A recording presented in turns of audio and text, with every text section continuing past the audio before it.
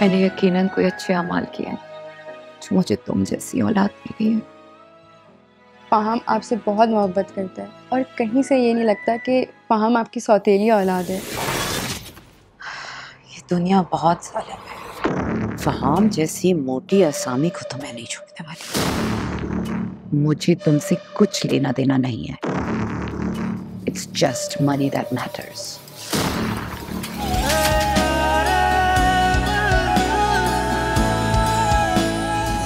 एक तेरी चाहत के बाद 12 अगस्त से सिर्फ़ और लाइफ पर।